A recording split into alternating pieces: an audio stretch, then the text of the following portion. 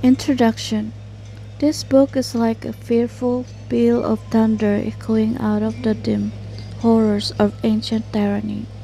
It is a chapter based on persecution by Antiochus, the tyrant of Syria, whom some called Epiphanes, the madman. Roman history of the first centuries records two such tyrants, the other Caligula, the second brilliant madman. The form of this writing is that of an oration, so carefully timed are the risings and fallings of the speech. So devastating are its arguments, so unfaltering is its logic, so deep its trust, so cool its reasoning, that it takes its place as a sample of the sheerest eloquence. The keynote is courage, the writer begins with an impassioned statement of the philosophy of inspired reason. We like to think of this 20th century as the age of reason and contrast it with the age of myths, yet a writing such as this is a challenge to such an assumption. We find a writer who probably belonged to the first century before the Christian era, stating a clear cut philosophy of reason that is just as potent today as it was 2000 years ago. The setting of the observations in the torture chambers is unrelenting on our modern ears. Attuned to gentler things, it strikes appallingly. The details of the successive tortures, suggesting the instruments of the Spanish Inquisition centuries later, are elaborated in a way shocking to our taste. Even the emergence of the stoical characters of the old man, the seven brothers, and the mother does nothing to soften the ferocity with which this orator conjures courage. The ancient fathers of the Christian Church carefully preserved this book. We have it from a Syrian translation as a work of high moral value and teaching and it was undoubtedly familiar to many of the early Christian martyrs who were aroused to the pitch of martyrdom by reading it. Chapter 1 Fourth Book of Maccabees Chapter 1 An outline of philosophy from ancient times concerning inspired reason. Civilization has never achieved higher thought, a discussion of repressions verse 48 sums up the whole philosophy of mankind. Philosophical in the highest degree is the question I propose to discuss, namely whether the inspired reason is supreme, ruler over the passions, and to the philosophy of it I would seriously entreat your earnest attention. For not only is the subject generally necessary as a branch of knowledge, but it includes the praise of the greatest of virtues, whereby I mean self control. That is to say, if reason is proved to control the passions adverse to temperance, gluttony, and lust, it is also clearly shown to be Lord over the passions like malevolence, opposed to justice, and over those opposed to manliness, namely rage and pain and fear. But some may ask, if the reason is master of the passions, why does it not control forgetfulness and ignorance, their object being to cast ridicule? The answer is that reason is not master over defects inhering in the mind itself, but over the passions or moral defects that are adverse to justice and manliness, and temperance and judgment and its action in their case is not to extirpate the passions, but to enable us to resist them successfully. I could bring before you many examples drawn from various sources where reason has proved itself master over the passions. But the best instance by far that I can give is the noble conduct of those who died for the sake of virtue. Eleazar, and the seven brethren, and the mother. For this all by their contempt of pains, yea, even unto death, prove that reason rises superior to the passions. I might enlarge here in praise of the virtues. They, the man with the mother, dying on this day, we celebrate for the love of moral beauty and goodness, but rather would I felicitate them on the honors they have attained. For the admiration felt for their courage and endurance, not only by the world at large, but by their very executioners, made them the authors of the downfall of the tyranny under which our nation lay, they defeating the tyrant by their endurance, so that through them was their country purified. But I shall presently take opportunity to discuss this, after we have begun with the general theory, as I am in the habit of doing, and I will then proceed to the story, giving glory to the all-wise God. Our inquiry, then, is whether the reason is supreme master over the passions. But we must define just what the reason is and what passion is, and how many forms of passion there are, and whether the reason is supreme over all of them. Reason I take to be the mind preferring with clear deliberation the life of wisdom. Wisdom I take to be the knowledge of things, divine and human, and of their causes. This I take to be the culture acquired under the law, through which we learn with due reverence the things of God, and for our worldly profit the things of man. Now wisdom is manifested under the forms of judgment and justice and courage and temperance. But judgment or self-control is the one that dominates them all, for through it, in truth, reason asserts its authority over the passions. But of the passions, there are two comprehensive sources, namely pleasure and pain, and either belongs essentially also to the soul as well as to the body.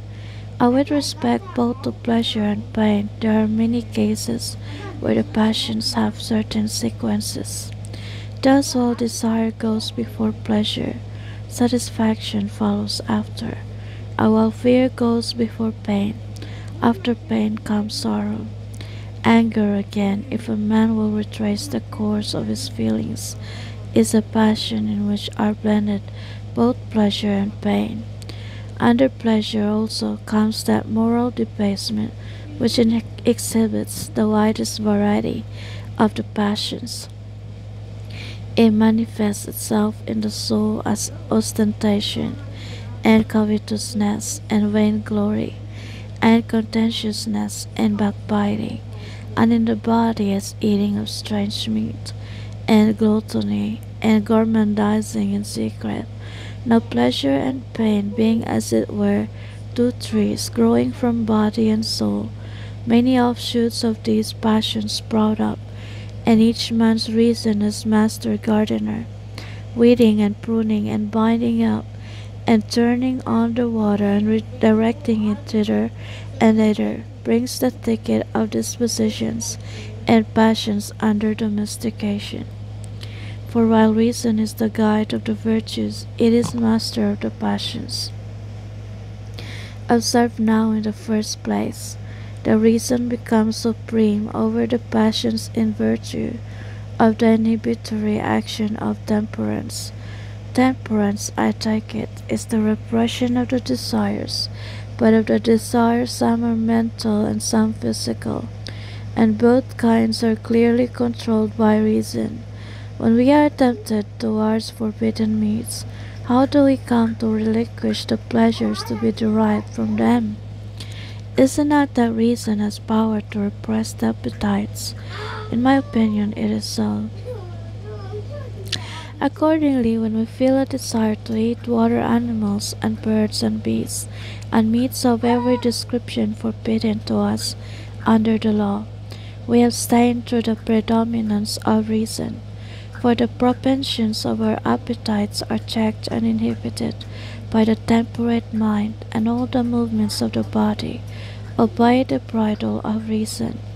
And what is there to be surprised at it the natural desire of the soul to enjoy the fruition of beauty is quenched. This certainly is why we praise the virtuous Joseph, because by his reason, with a mental effort, he checked the carnal impulse. Note C the Testament of Joseph, page 260. For he, a young man at the age when physical desire is strong, by his reason quenched the impulse of his passions. And reason is proved to subdue the impulse not only of sexual desire, but of all sorts of covetings. For the law says, Thou shalt not covet thy neighbor's wife, nor anything that is thy neighbor's.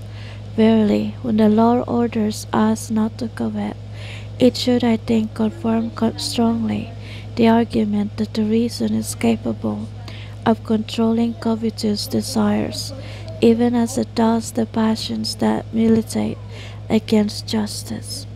How else can a man, naturally gormandizing and greedy and drunken, be taught to change his nature, if the reason be not manifestly the master of the passions?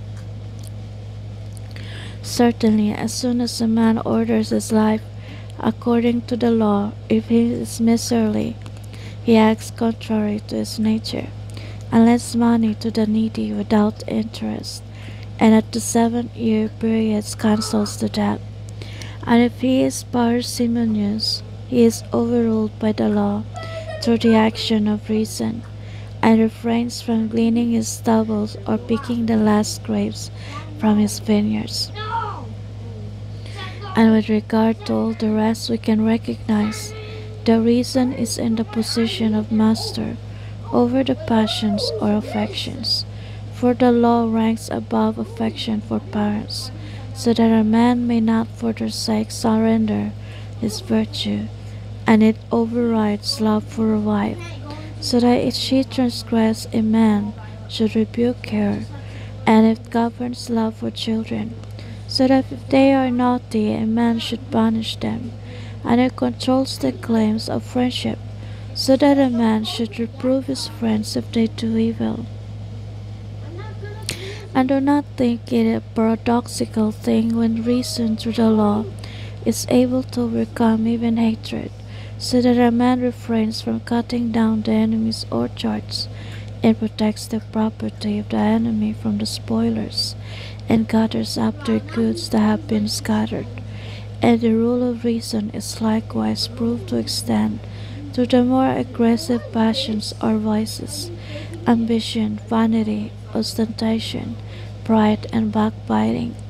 For the temperate mind repels all these debased passions, even as it does anger, for it conquers even this. Yea, Moses, when he was angered against Dathan and Abiram, did not give free course to his wrath, but governed his anger by his reason. For the temperate mind is able, as I said, to win the victory over the passions, modifying some while crushing others absolutely. Why else did our wise father Jacob blame the houses of Simeon and Levi for their unreasoning slaughter of the tribe of the Shechemites, saying, Accursed be their anger, for had not reason possessed the power to restrain their anger, he would not have spoken thus. For in the day when God created man, he implanted in him his passions and inclinations, and also at the very same time set the mind on a throne amidst the senses, to be a sacred guide in all things. And to the mind he gave the law, by the which if a man order himself, he shall reign over a kingdom that is temperate, and just, and virtuous, and brave. Chapter 2 The Ruling of Desire and Anger The story of David stirs, stirring chapters of ancient history, savage attempts to make the Jews eat swine, interesting references to an ancient bank, verse 21. Well then, someone may ask, if reason is master of the passions, why is it not master of forgetfulness and ignorance? But the argument is supremely ridiculous, for reason is not shown to be master over passions, or defects in itself, but over those of the body. For example, none of you is able to extirpate our natural desire, but the reason can enable him to escape being made a slave by desire. None of you is able to extirpate anger from the soul, but it is possible for the reason to come to his aid against anger. None of you can extirpate a malevolent disposition, but reason can be his powerful ally against being swayed by malevolence. Reason is not extirpate of the passions, but their antagonist. The case of the thirst of King David may serve at least to make this clearer. For when David had fought the livelong day against the Philistines, and by the help of our country's warriors had slain many of them, he came at eventide, all done with sweat and toil, to the royal tent around which was encamped the whole army of our ancestors. So all the host fell to their evening meal, but the king, being consumed with an intense thirst, though he had an abundance of water, was unable to slake it. Instead, an irrational desire for the water that was in the possession of the enemy, with growing intensity, burned him up and unmanned and consumed him. Then, when his bodyguard murmured against the craving of the king, two youths, mighty warriors, ashamed that their king should lack his desire, put on all their armor and took a water vessel and scaled the enemy's ramparts, and stealing undetected past the guards at the gate, they searched through all the enemy's camp. And they bravely found the spring and drew from it a draught for the king. But David, though still burning with the thirst, considered that such a draught, reckoned as equivalent to blood, was a grievous danger to his soul. Therefore, opposing his reason to his desire, he poured out the water as an offering to God. For the temperate mind is able to conquer the dictates of the passions, and to quench the fires of desire, and to wrestle victoriously with the pangs of our bodies, though they be exceeding strong, and by the moral beauty and goodness of reason to defy with scorn all the domination of the passions, and now the occasion calls us to set forth the story of the self-controlled reason. At a time when our fathers enjoyed great peace through the due observance of the law, and were in happy case so that Seleucus Nicanor, the king of Asia, sanctioned the tax for the temple service and recognized our polity. Precisely then, certain men, acting factiously against the general concord, involved us in many and various calamities. Onias, a man of the highest character, being then high priest and having the office for his life, a certain Simon raised a faction against him. But since despite every kind of slander, he failed to endure him on account of the people. He fled abroad with intent to betray his country. So he came to Apollonius, the governor of Syria, and Phoenicia and Cilicia, and said, Being loyal to the king, I am here to inform you that in the treasuries of Jerusalem are stored many thousands of private deposits, not belonging to the temple account, and rightfully the property of King Seleucus. Apollonius, having made inquiry into the details of the matter, praised Simon for his loyal service to the king and hastening to the court of Seleucus, disclosed to him the valuable treasure. Then, after receiving authority to deal with the matter, he promptly marched into our country, accompanied by the accursed Simon and a very powerful army, and announced that he was there by the king's command to take possession of the private deposits in the treasury. Our people were deeply angered by this announcement and protested strongly considering it an outrageous thing for those who had entrusted their deposits to the temple treasury to be robbed of them, and they threw all possible obstacles in his way. Apollonius, however, with threats made his way into the temple. Then the priests in the temple and the women and children besought God to come to the rescue of his holy place that was being violated. And when Apollonius with his armed host marched in to seize the monies, there appeared from heaven angels riding upon horses with lightning flashing from their arms, and cast great fear and trembling upon them. And Apollonius fell down half dead in the court of the Gentiles, and stretched out his hands to heaven, and with tears he entreated the Hebrews that they would make intercession for him, and stay the wrath of the heavenly host. For he said that he had sinned and was worthy even of death, and that if he were given his life he would laud to all men the blessedness of the holy place. Moved by these words, Onias the high priest, although most scrupulous in other cases, made intercession for him lest King Seleucus should possibly think that Apollonius had been overthrown by human device and not by divine justice. Apollonius accordingly after his astonishing deliverance departed to, de to report to the king the things that had befallen him. But Seleucus dying, his successor on the throne was his son Antiochus Epiphanes, an overweening terrible man who dismissed Onias from his sacred office and made his brother Jason high priest instead. The condition being that in return for the appointment Jason should pay him three thousand six hundred and sixty talents yearly. So he appointed Jason high priest and made him chief ruler over the people.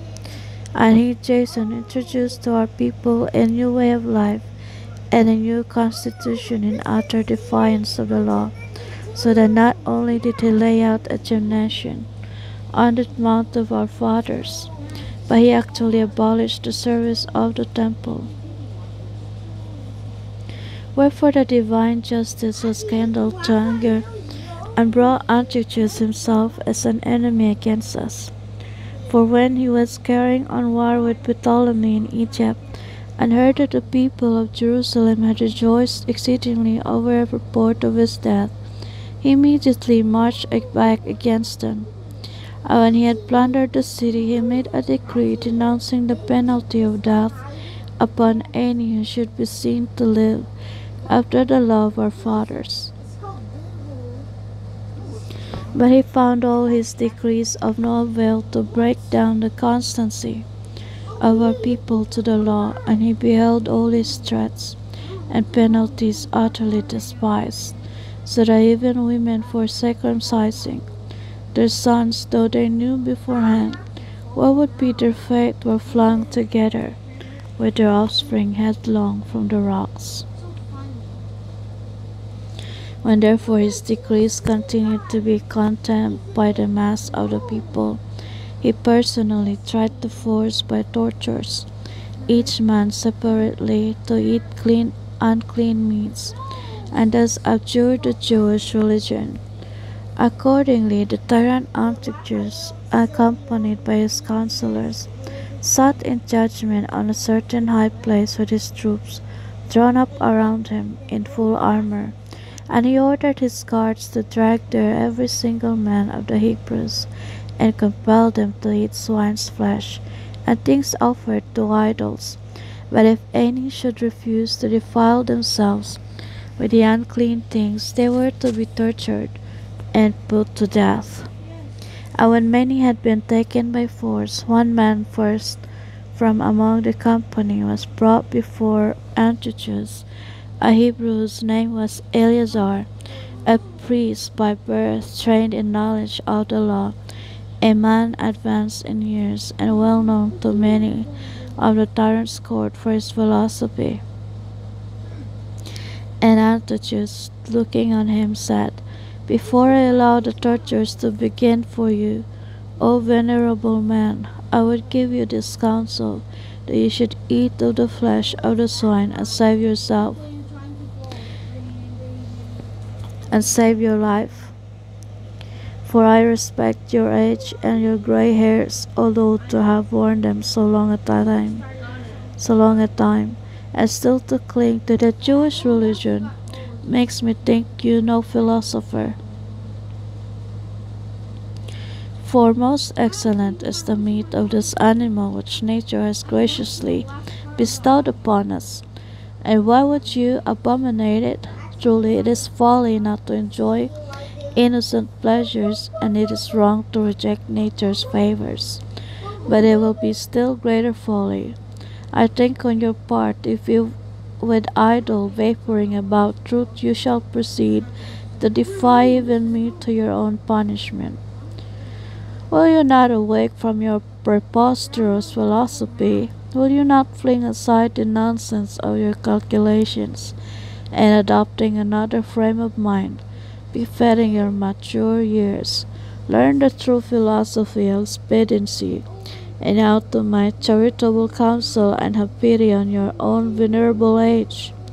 For consider this too, that even if there be some power whose eye is upon this religion, of yours, he will always pardon you for a transgression done under compulsion.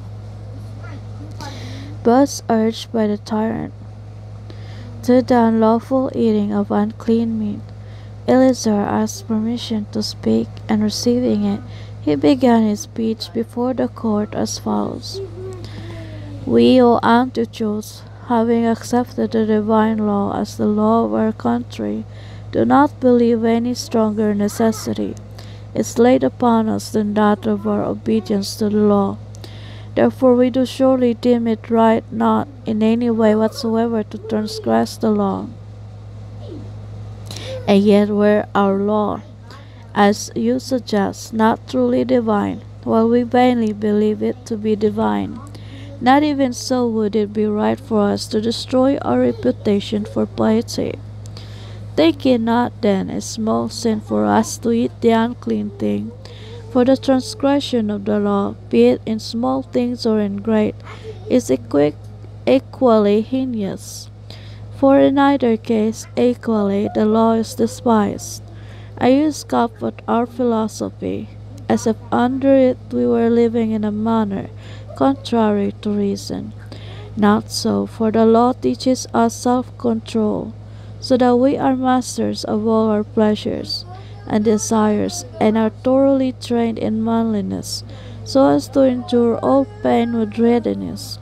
And it teaches justice so that with all our various dispositions we act fairly, and it teaches righteousness so that with due reverence we worship only that God who is.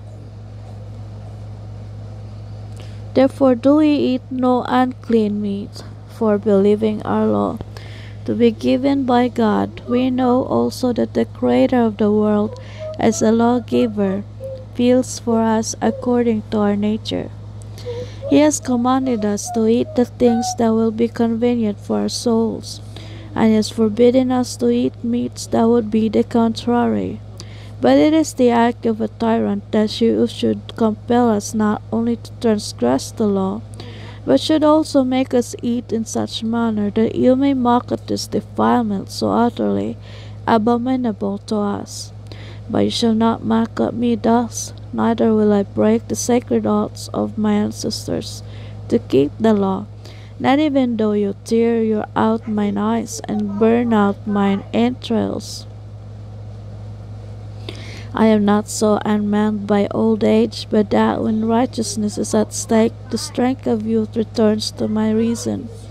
So twist hard your rags, and blow your furnace hotter.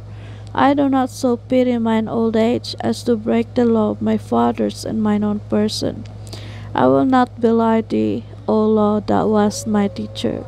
I will not desert thee, O beloved self-control. I will not put thee to shame, O wisdom loving reason, nor will I deny, yea, O venerated priesthood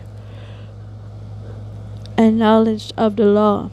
Neither shalt thou sully the pure mouth of mine old age, and my lifelong constancy of the law.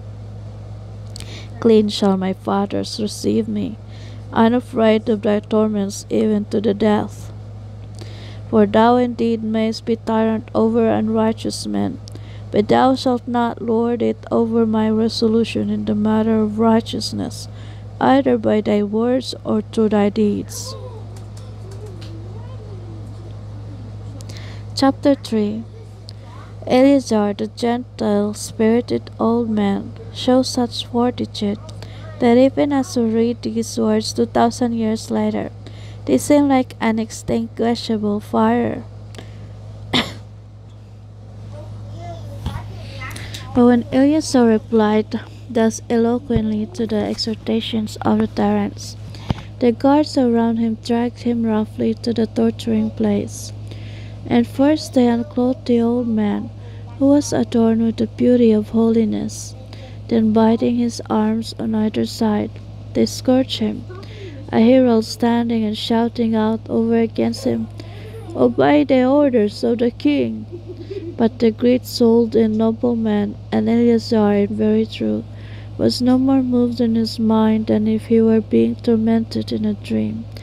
Yea, the old man, keeping his eyes steadfastly raised to heaven, suffered his flesh to be dumb, torn by the scourges till he was bathed in blood, and his sides became a mass of wounds.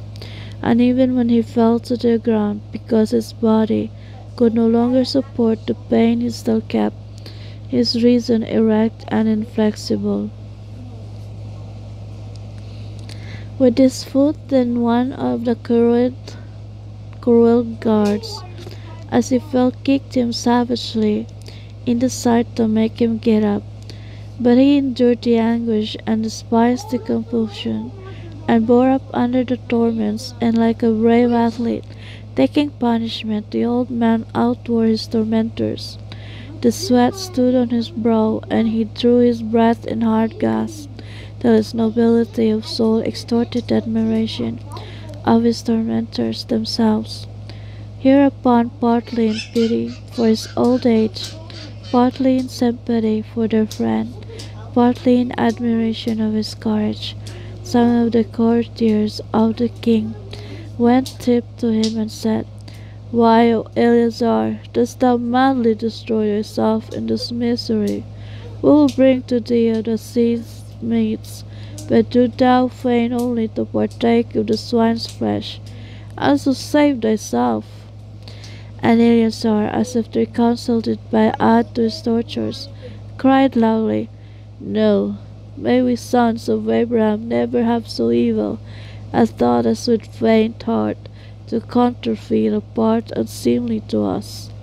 Contrary to reason indeed, were it for us after living unto the truth till old age, and guarding in lawful guise the repute of so living, now to change and become in our own persons a pattern to the young of empathy, to the end that we should encourage them to eat unclean meat.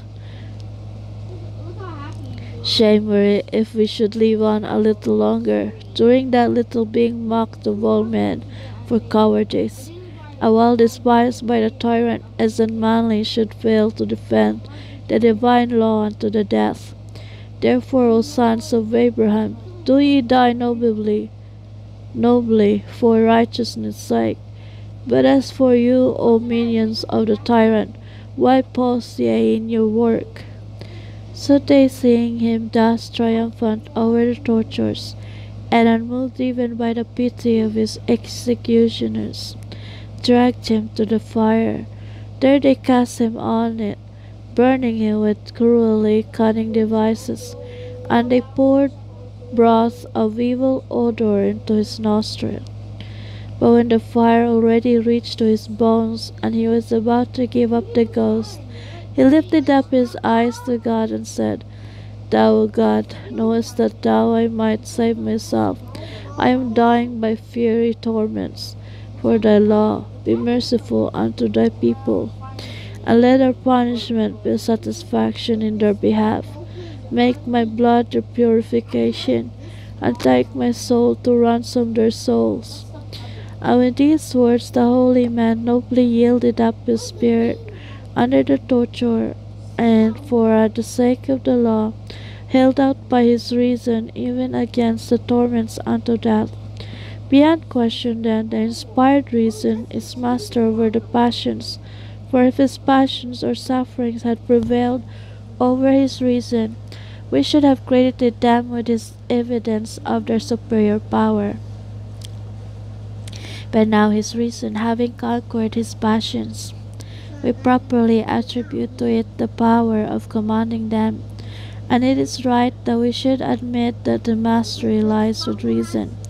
In cases at least where it conquers pains that come from outside ourselves, for it were ridiculous to deny it, and my proof covers not only the superiority of reason to pains, but its superiority to pleasures also, neither does it surrender to them.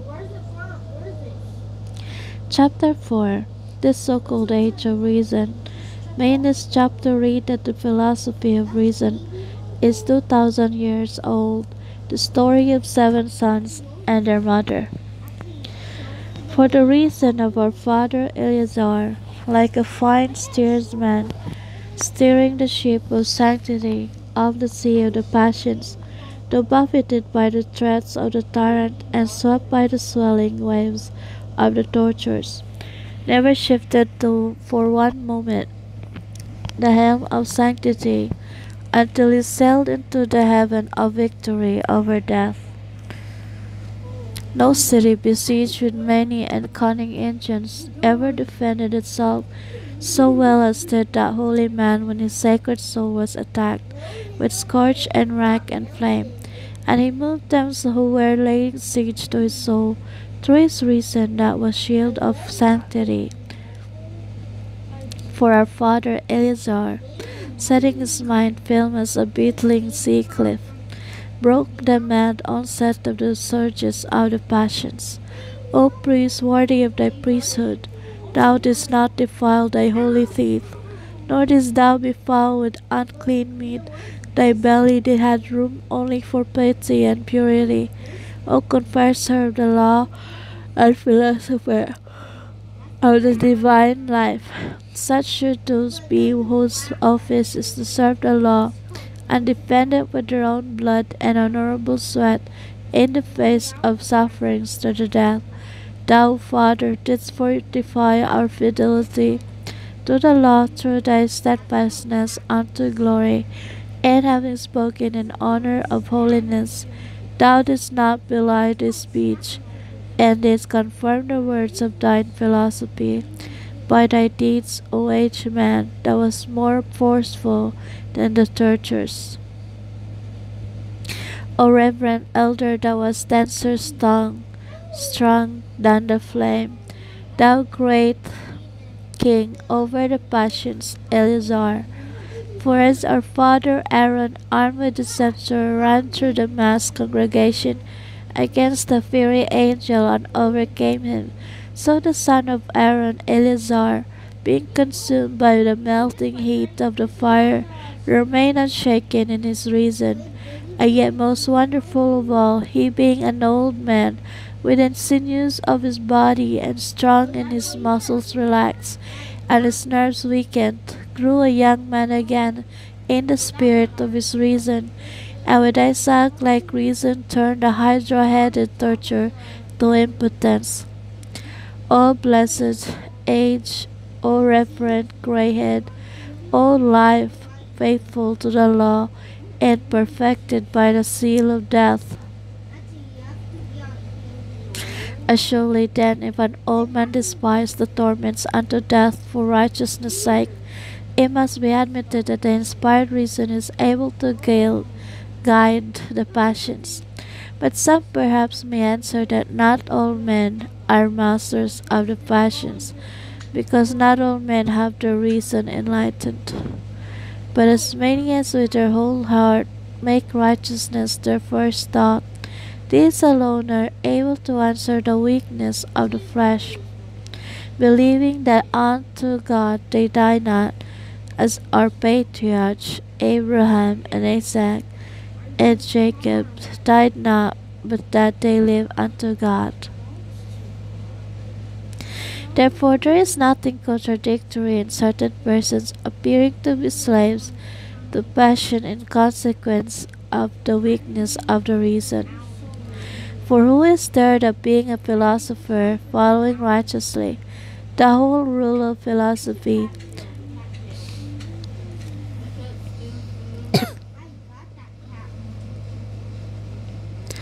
and having put his trust in God, and knowing that it is a blessed thing to endure all hardness for the sake of virtue, would not conquer his passions for the sake of righteousness. For the wise and self-controlled man alone is the brave ruler of the passions.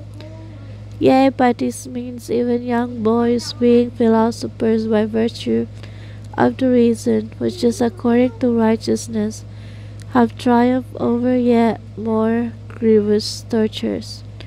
For when the tyrant found himself notably defeated in his first attempt, and impotent to compel an old man to eat unclean meat, they then truly in violent rage he ordered the guards to bring others of the young men of the Hebrews, and if they would eat unclean meat to release them after eating it. But if they refused, they tortured them yet more savagely. And under these orders of the tyrant, seven brethren fought together with their aged mother were brought prisoners before him. All handsome and modest and well born and generally attractive. And when the tyrant saw them there, standing as if they were a festal choir, with their mother in the midst, he took notice of them, and struck by their noble and distinguished bearing, he smiled at them, and calling them nearer, he said, O young men, I wish well to each one of you, and admire your beauty and honor highly. So large a band of brothers, so not only do I advise you do not persist in the madness of that old man who has already suffered, but I even entreat of you to yield to me and become partakers in my friendship. For as I am able to punish those who disobey my orders, so am I able to punish those who do disobey.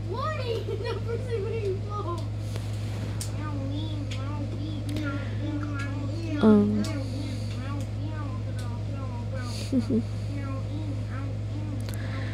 For as I am able to punish those who disobey my orders, so am I able to advance those who do obey me.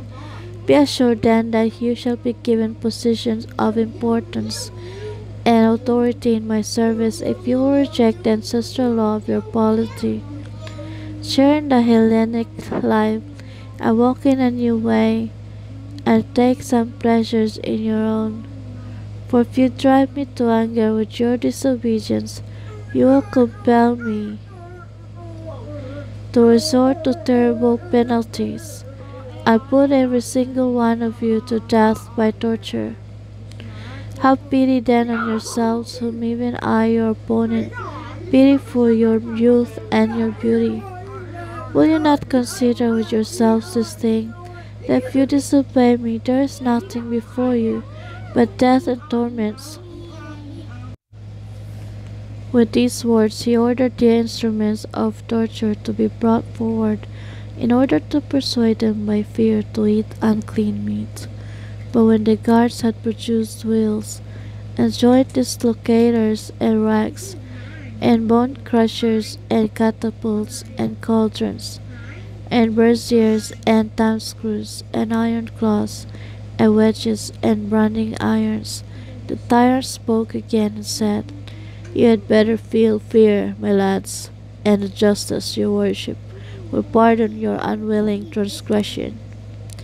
But they, hearing his persuasions and seeing his dreadful engines, not only showed no fear, but actually arrayed their philosophy in opposition to the tyrant, and by their right reason did abase his tyranny. And yet consider, supposing some amongst them to have been faint hearted and cowardly, what sort of language would they have used? Would it not have been to this effect? Alas, miserable creatures that we are, and foolish above measure, when the king invites us and appeals to us on terms of kind treatment, shall we not obey him?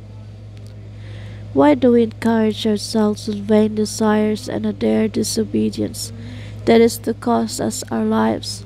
Shall we not, O men, my brothers, fear the dread instruments and weigh well his threats of the tortures, and abandon these empty vaunts and this fatal bragging? Let us take pity on our own youth and have compassion on our mother's age, and let us lay to heart that if we disobey we shall die.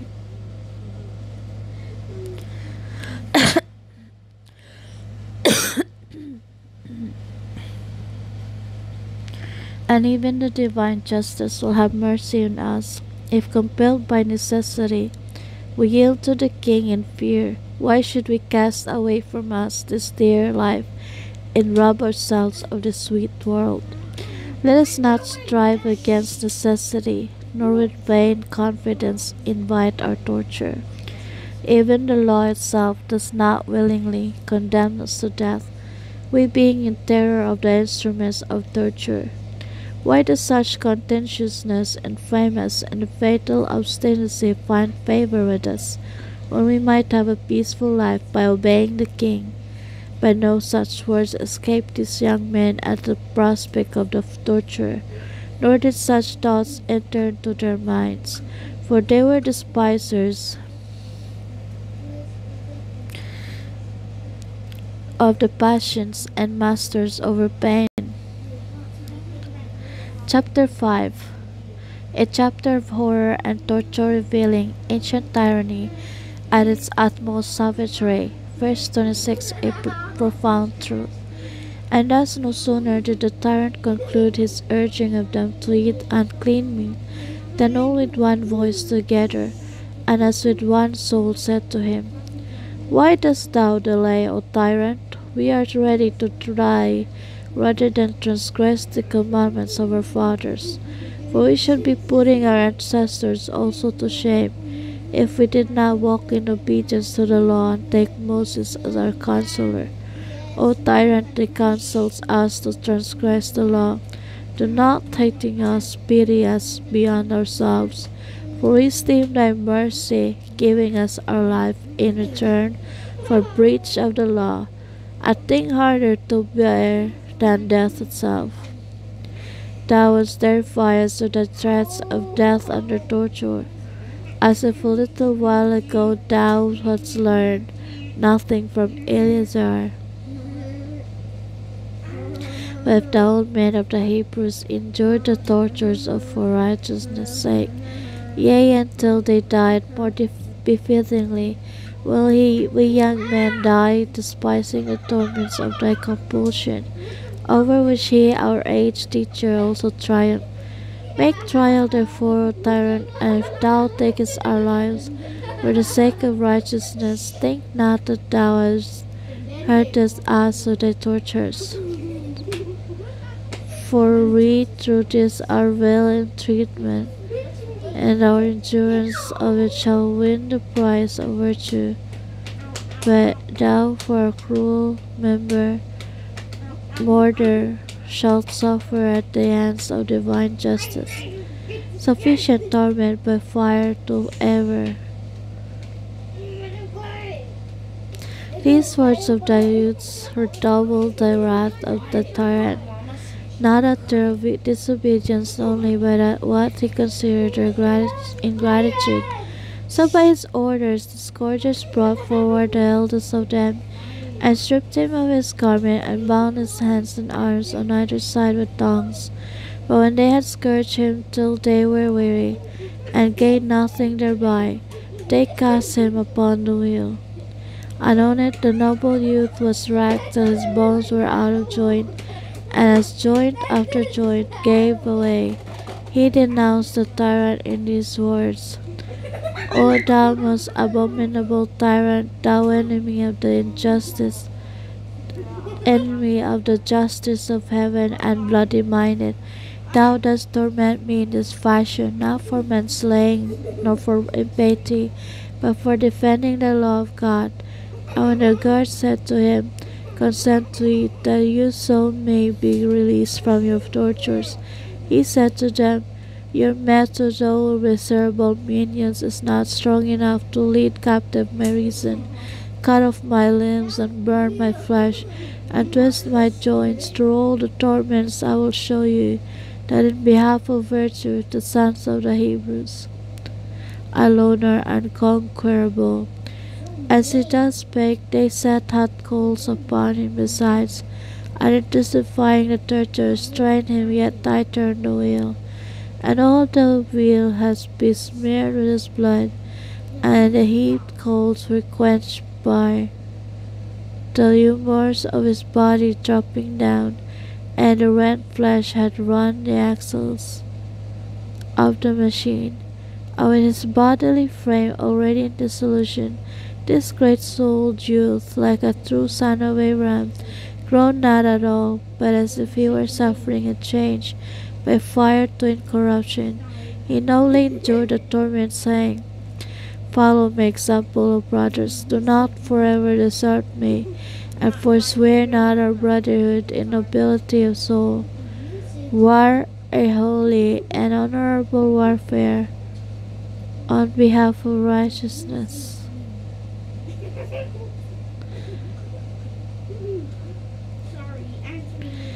Through which may the just providence that watch over our fathers become merciful unto his people and take vengeance on the accursed tyrant.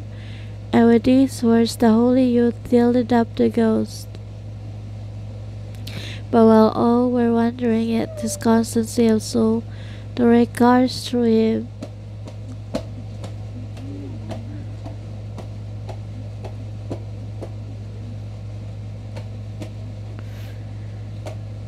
The guards brought forward the second in age of the sons, and grappling him with sharp clawed hands of iron, they fastened him to the engines and the catapult. But when he heard his noble resolve in the answer to their question, would he rather than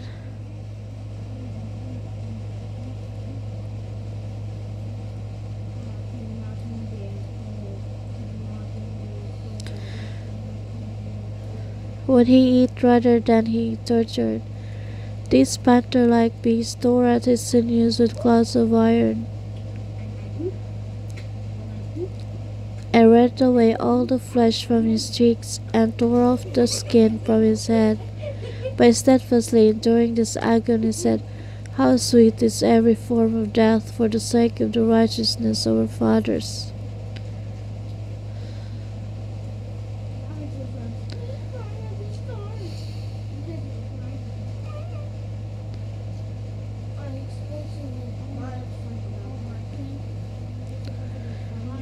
Righteousness of our fathers. And to the tyrant he said, O most ruthless of tyrants, does not it seem to thee that at this moment thou thyself sufferest tortures worse than mine in seeing thy tyrannous arrogant intention overcome by my endurance for righteousness' sake? For I am supported under pain by the joys that come through virtue, whereas thou art in torment whilst glorying in thy impiety neither shalt thou escape, O most abominable tyrant, the penalties of the divine wrath. And when he had bravely met his glorious death, the third son was brought forward and was earnestly entreated by many to taste and to so to save himself. But he answered in a loud voice, Are ye ignorant that the same father begat me and my brothers that are dead, and the same mother gave us birth? And in the same doctrines was I brought up. I do not forswear the noble band of brotherhood. Therefore, if ye have any agent of torment, apply it to this body of mine. For my soul ye cannot reach not if you would. But they were greatly angered at the bold speech of the man, and they dislocated his hands and his feet with their dislocating engines, and wrenched his limbs out of their sockets, and unstrung them, and they twisted round his fingers, and his arms and his legs and his elbow joints, and in no wise being able to strangle his spirit, they stripped off his skin, taking the points of the fingers with it, and tore in Scythian fashion the scalp from his head, and straightway brought him to the wheel, and on this day twisted his spine till he saw his own flesh hanging in strips, and great gouts of blood pouring down from his entrails.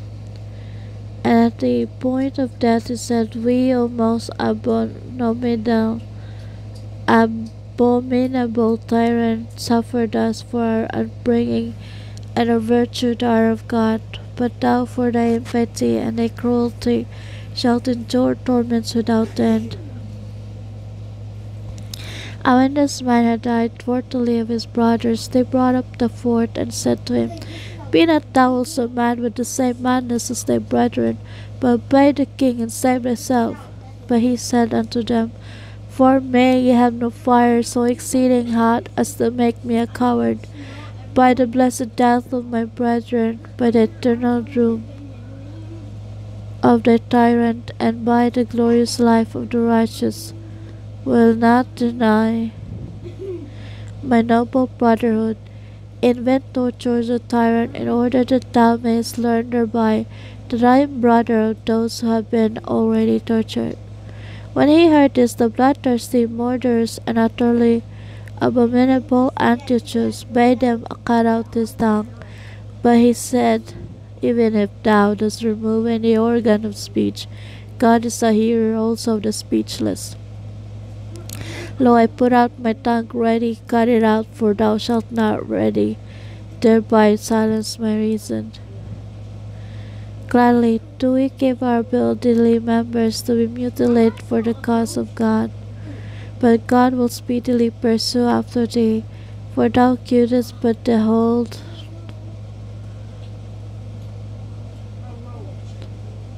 for thou couldst out the tongue that sang songs of praise unto him. But when this man also was put to a death of agony with the tortures, the fifth sprang forward, saying, Shrink not, O tyrant, from demanding the torture for his virtue's sake. Yea, of myself I come forward in order to slay me. Also, mayest by it more the disgrace, the penalty thou owest to justice of heaven. So enemy of virtue and enemy of man, for what? For the six.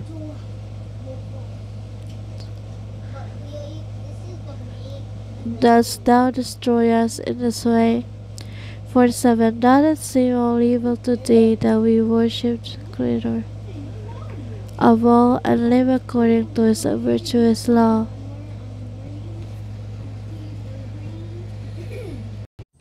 Forty-eight.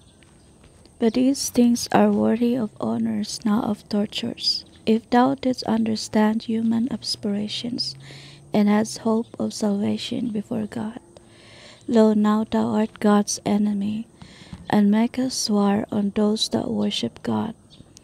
And he spake thus the guards bound him, and brought him before the catapult, and they tied him thereunto on his knees, and fastening them there with iron clamps, they wrenched his loins over the rolling, rolling wedge, so that he was completely curled back like a scorpion and every joint was disjointed. And thus in grievous strait for breath and anguish of body, he exclaimed, Glorious, O tyrant, glorious against thy will are the boons that thou bestowest on me, enabling me to show my fidelity to the law through yet more honorable tortures. And when this man also was dead, the sixth was brought, a mere boy, who in answer to the tyrant's inquiry whether he was willing to eat and be released, said, I am not so old in years as my brethren, but I am as old in mind. For we were born and reared for the same purpose, and are equally bound also to die for the same cause. So if thou choosest to torture us for not eating unclean meat, torture. As he spake these words, they brought him to the wheel, and with care they stretched him out and dislocated the bones of his back, and set fire under him. And they made sharp skewers red hot and ran them into his back. And piercing through his sides, they burned away his entrails also. But he, in the midst of his tortures, exclaimed, O contest worthy of saints, wherein so many of us, brethren, in the cause of righteousness, have been entered for a competition in torments, and have not been conquered. For the righteous understanding, O tyrant, is unconquerable. In the armor of virtue I go to join my brothers in death, and to add in myself one strong avenger more to punish thee, O deviser of the tortures, and enemy of the truly righteous. We six youths have overthrown thy tyranny. For is not thine impotence to alter our reason of for or force, as to eat unclean meat and overthrow for thee.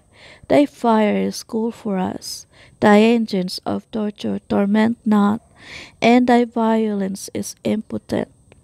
For the guards have been officers for us, not of a tyrant, but of the divine law, and therefore have we our reason yet unconquered. Chapter 6 brotherly bonds, and a mother's love. And when this one also died a blessed death, being cast into the cauldron, the seventh son, the youngest of them all, came forward. But the tyrant, although fiercely exasperated by his brethren, felt pity for the boy, and seeing him there already bound, he had him brought near, and sought to persuade him, saying, Thou seest the end of the folly of thy brethren, for through their disobedience they have been racked to death. Thou too, if thou dost not obey, wilt thyself also be miserably tortured and put to death before thy time. But if thou dost obey, thou shalt be my friend, and thou shalt be advanced to high office in the business of the kingdom. While thus appealing to him, he sent for the boy's mother, in order that in her sorrow for the loss of so many sons, she might urge the survivor to obey and be saved. But the mother, speaking in the Hebrew tongue, as I shall tell later on, encouraged the boy, and he said to the guards, Loose me, that I may speak to the king, and to all his friends with him. And they, rejoicing at the boy's request, made haste to loose him. And running up to the red hot brazier, O impious tyrant, he cried, and most ungodly of all sinners, art thou not ashamed to take thy blessings and thy kingship at the hands of God, and to slay his servants and torture the followers of righteousness? for which things the divine justice delivers thee unto a more rapid and eternal fire and torments which shall not leave hold on thee to all eternity.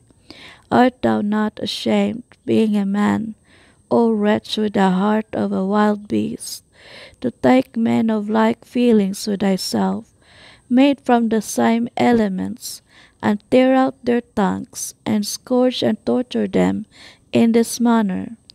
But while they have fulfilled their righteousness towards God in their noble deaths, thou shalt miserably cry, Woe is me, for thy unjust slaying of the champions of virtue. And then standing on the brink of death, he said, I am no renegade to the witness borne by my brethren. And I call upon the God of my fathers to be merciful unto my nation. And thee will he punish both in this present life and after that thou art dead. And with this prayer he cast himself into the red hot brazier, and so gave up the ghost.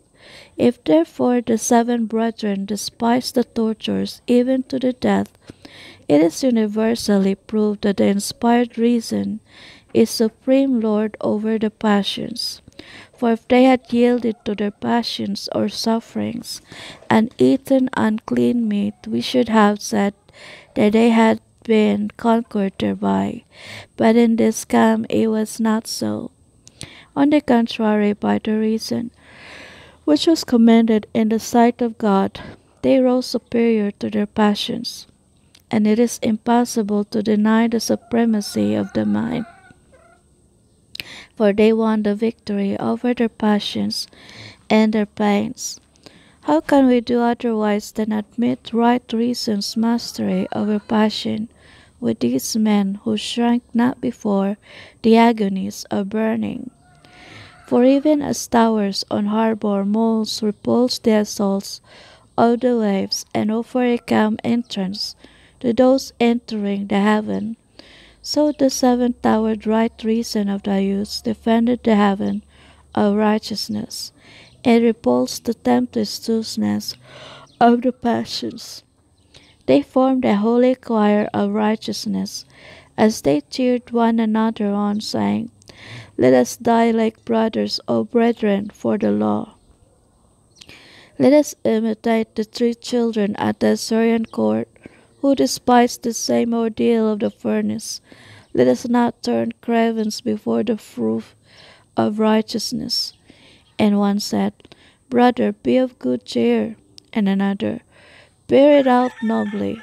And another, recalling the past, Remember what stock ye are and at whose fatherly hand Isaac, for righteousness' sake, yielded himself to be a sacrifice. And each and all of them together, looking at each other brightly and very boldly, said, With a whole heart will we consecrate ourselves unto God who gave us our souls, and let us lend our bodies to the keeping of the law. Let us not fear him who thinketh his kills, for a great struggle and peril of the soul awaits. In eternal torment those who transgress the ordinance of God. Let us then arm ourselves with divine reason's mastery of the passions. After this our passion, Abraham, Isaac, and Jacob shall receive us, and all our forefathers shall praise us.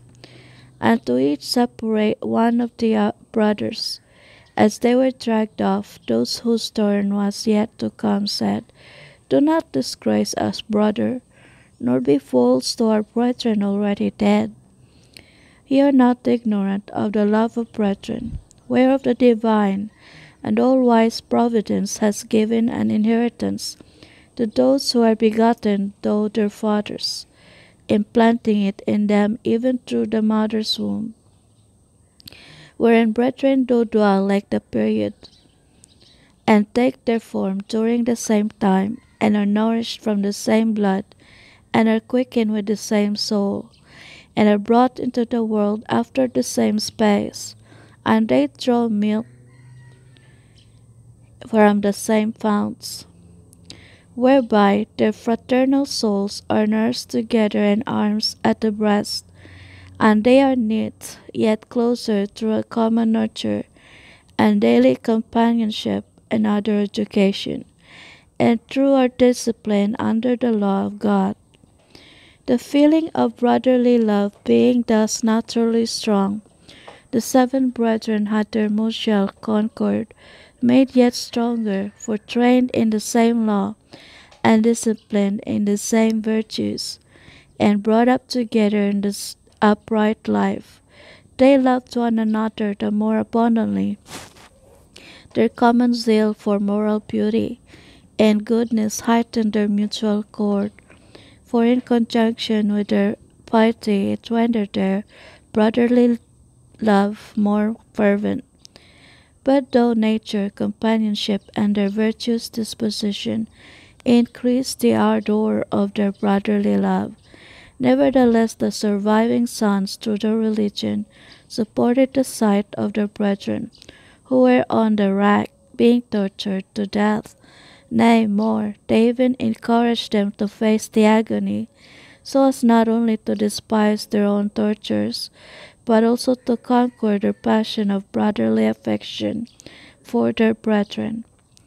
O reasoning minds, more kingly than kings, than freemen more free, of the harmony of the seven brethren, holy and well attuned to the keynote of piety.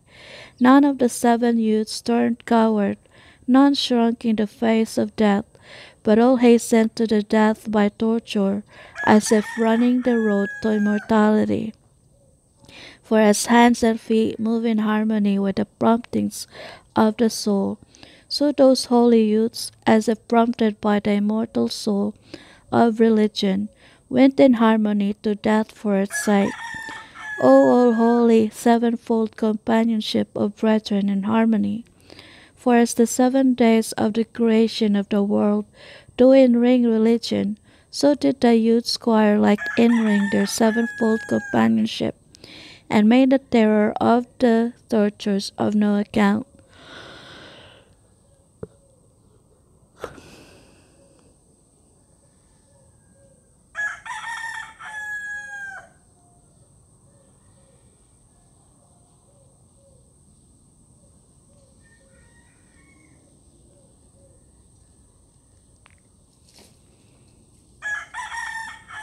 We now shudder when we hear of the suffering of those youths, but they not only seeing it with their eyes, nor merely hearing the spoken, imminent threat, but actually feeling the pang, endured it through, and that in the torture by fire, than which what greater agony can be found? For sharp and stringent is the power of fire, and swiftly did it bring their bodies to dissolution. I think it not wonderful if those men reason triumphed over the tortures, when even a woman's soul despised a yet greater diversity of pains, for the mother of the seven youths endured the torments inflicted on each several one of her children. But consider how manifold are the yearnings of a mother's heart, so that her feeling for her offspring becomes the center of her whole world, and indeed here even the irrational animals have for their young an affection and love similar to man's.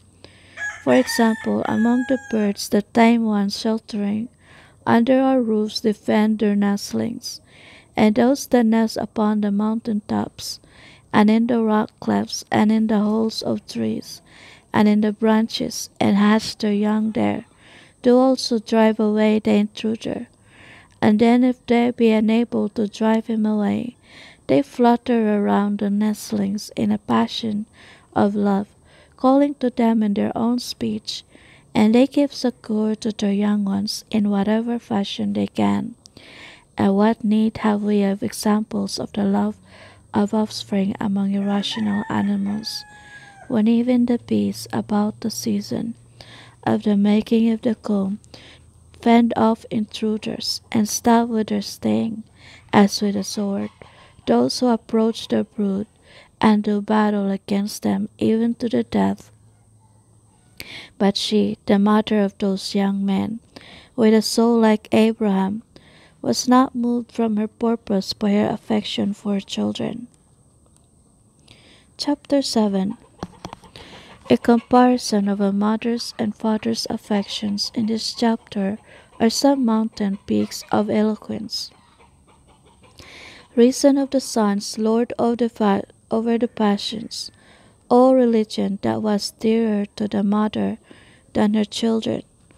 The mother having two choices before her, religion and the present saving a life of her seven sons, according to the tyrant's promise loved rather religion, which saveth unto eternal life according to God.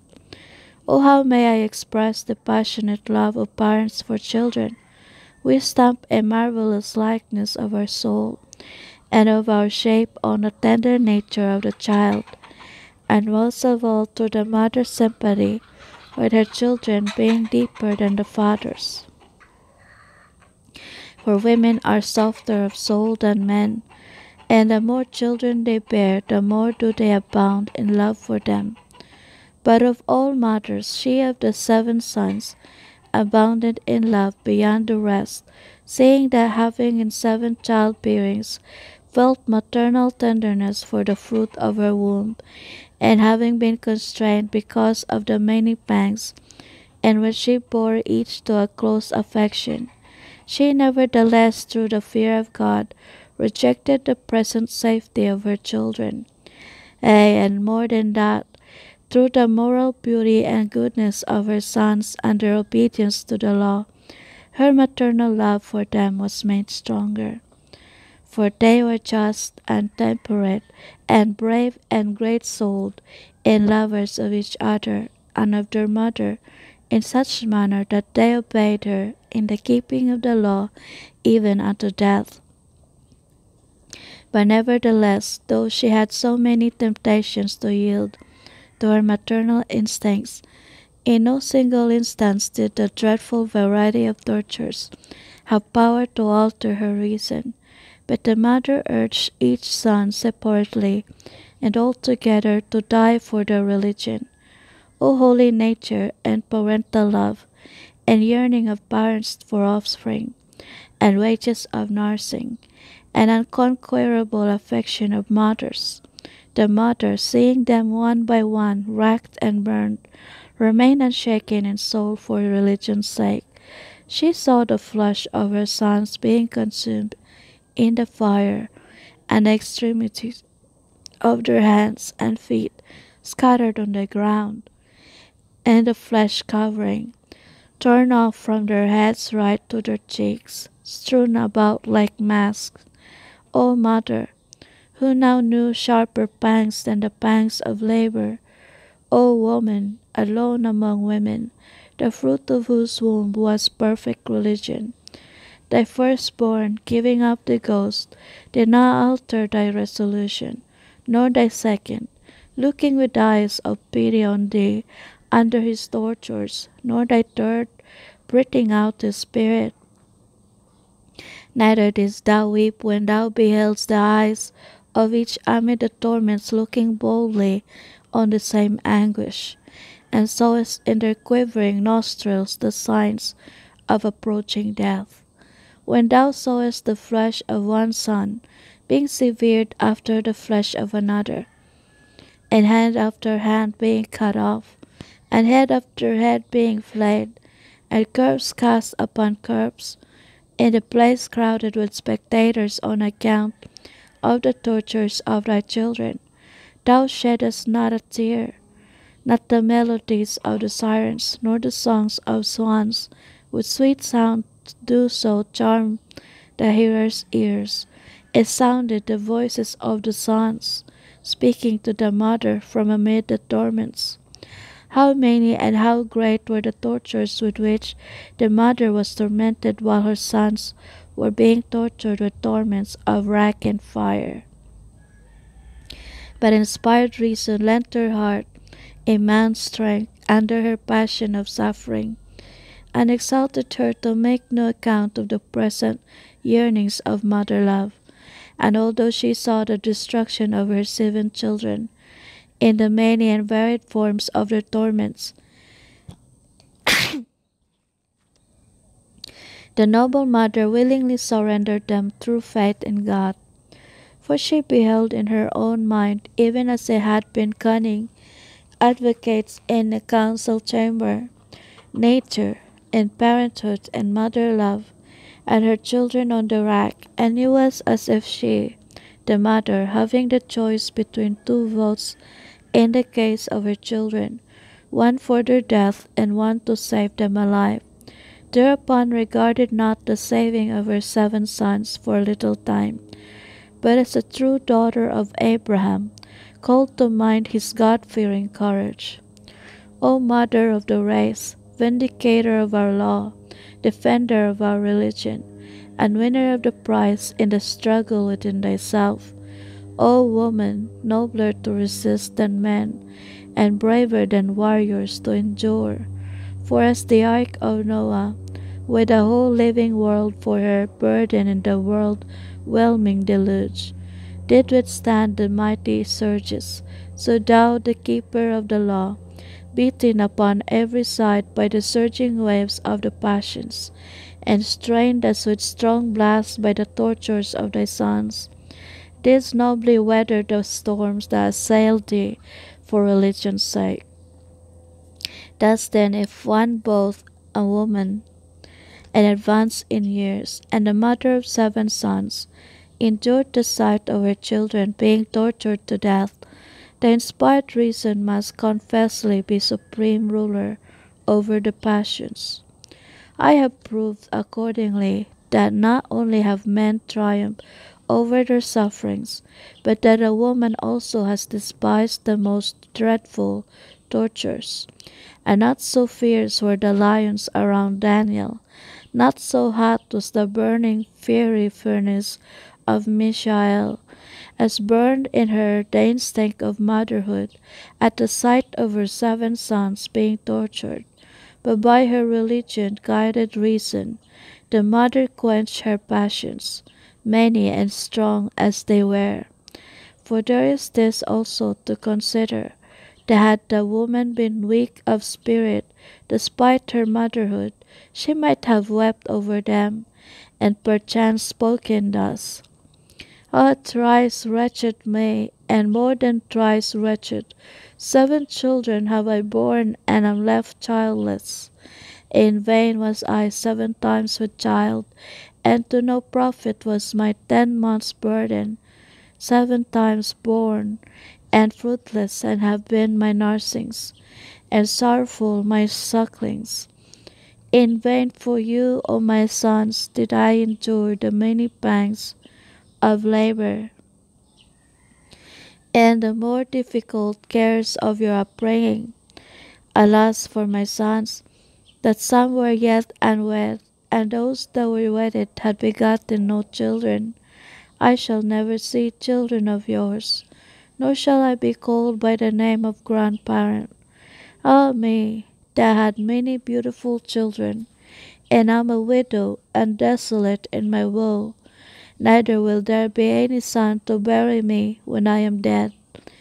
But the holy and God fearing mother wailed not with his lamentation over any one of them, neither besought she any to escape death, nor lamented over them as a dying man, but as though she had a soul of adamant and were bringing forth the number of her sons for a second time into immortal life. She besought rather and entreated of them that they should die for religion's sake. O Mother, warrior of God in the cause of religion, old and a woman, thou didst both defeat the tyrant by thy endurance, and was found stronger than a man, in deeds as well as words. For verily, when thou wast put in bonds with thy sons, thou stoodest there seeing Eleazar being tortured, and thou spakest to thy sons in the Hebrew tongue, My sons, noble is the fight, and do ye, being called thereto to bear witness for our nation, fight therein zealously on behalf of the law of our fathers. For it would be shameful if while this aged man endured the agony for religion's sake, you that are young men shrunk before the pain. Remember that for the sake of God ye have come into the world and have enjoyed life, and that therefore ye owe it to God to endure all pain for his sake, for whom also our father Abraham made haste to sacrifice his son Isaac the ancestor of our nation. And Isaac, seeing his father's hand lifting the knife against him, did not shrink. And Daniel, the just man, was cast to the lions, and Ananias, Azarias, and Mishael were flung into the furnace of fire, and they endured for God's sake.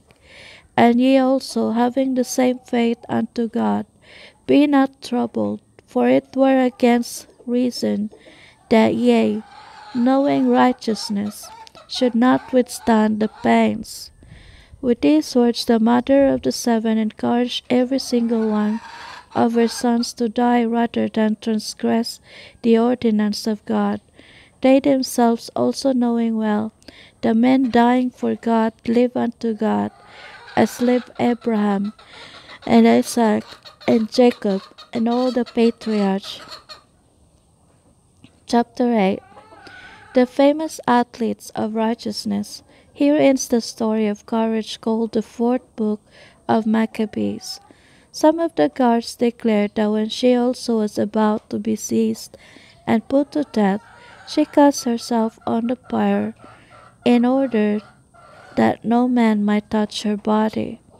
O Mother, that together with thy seven sons didst break the tyrant's force, and bring to naught his evil devices, and gavest an example of the noblest nobleness of faith, thou art nobly set as a roof upon thy sons, as pillars, and the earthquake of the torments shook thee not at all.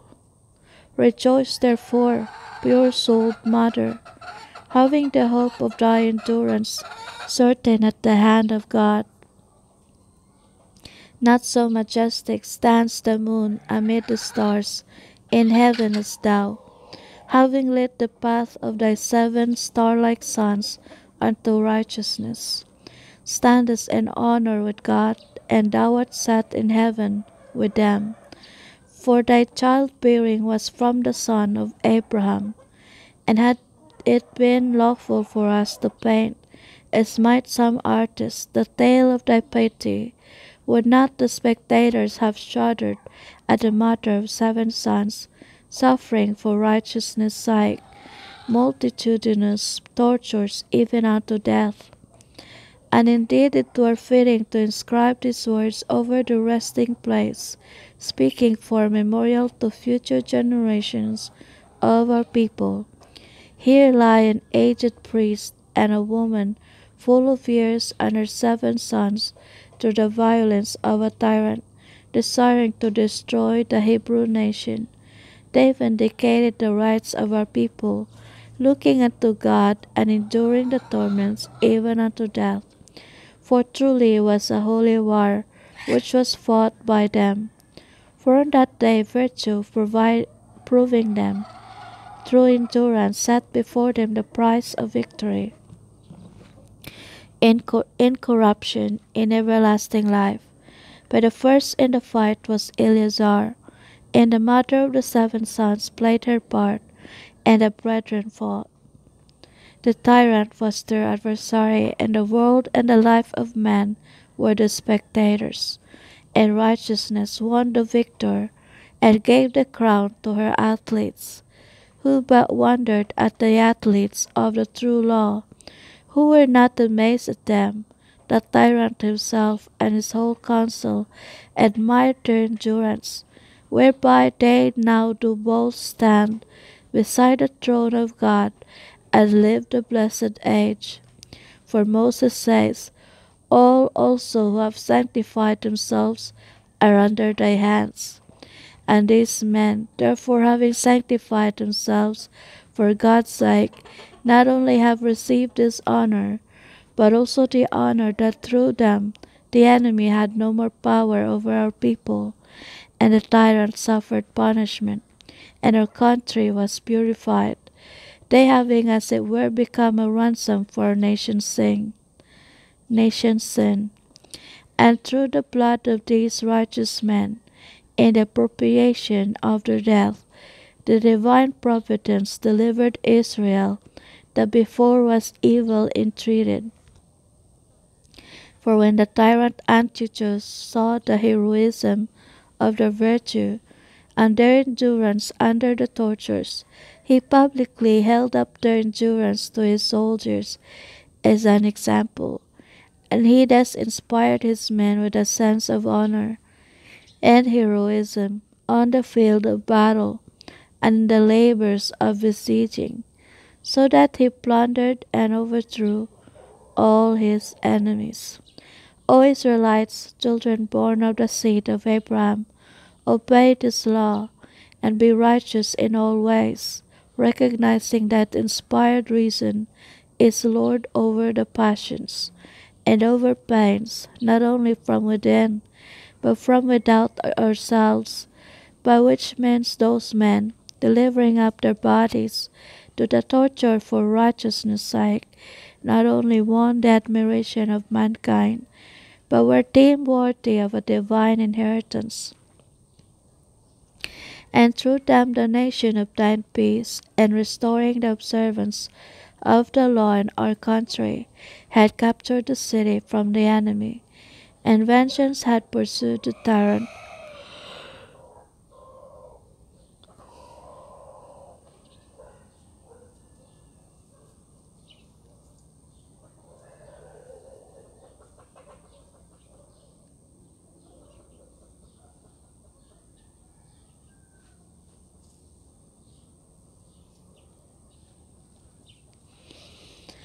Antiochus upon earth, and in death he suffers punishment. For when he failed utterly to constrain the people of Jerusalem to live like Gentiles and abandon the customs of her fathers, he thereupon left Jerusalem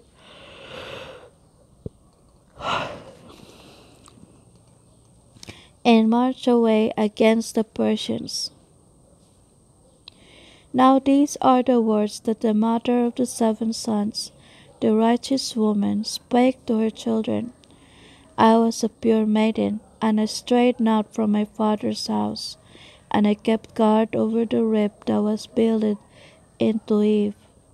No seducer of the desert, no deceiver in the field, corrupted me, nor did the false, beguiling serpent sully the purity of my maidenhood. I lived with my husband all the days of my youth. But when these my sons were grown up, their father died. Happy was he, for he lived a life blessed with children, and he never knew the pain of their loss. Who, while he was yet with us, taught you the law and the prophets. He read to us of Abel, who was slain by Cain, and of Isaac, who was offered as a burnt offering and of Joseph in the prison. And he spake to us Phinehas, the zealous priest, and he taught you the song of Ananias, Azarias, and Mishael in the fire. And he glorified also Daniel in the den of lions, and blessed him. And he called to your minds the saying of Isaiah. Yes, even though thou pass through the fire, the flame shall not hurt thee. He sang to us the words of David the psalmist. Many are the afflictions of the just. So he quoted to us the proverb of Solomon. He is a tree of life to all them that do his will. He confirmed the words of Ezekiel.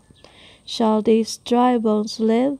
For he forgot not the song that Moses taught, which teaches, I will slay and I will make alive. This is your life and the blessedness of your days. Ah, cruel was the day, and yet not cruel, when the cruel tyrant of the Greeks set the fire blazing for his barbarous braziers, and with his passions boiling, brought to the catapult, and back pain to, and back again to his tortures, the seven sons of the daughter of Abraham, and blinded the eyeballs of their eyes, and cut out their tongues, and slew them with many kinds of torment, for which cause the judgment of God pursued and shall pursue the accursed wretch. But the sons of Abraham, with their victorious mother, are gathered together unto the place of their ancestors having received pure and immortal souls from God, to whom be glory forever and ever.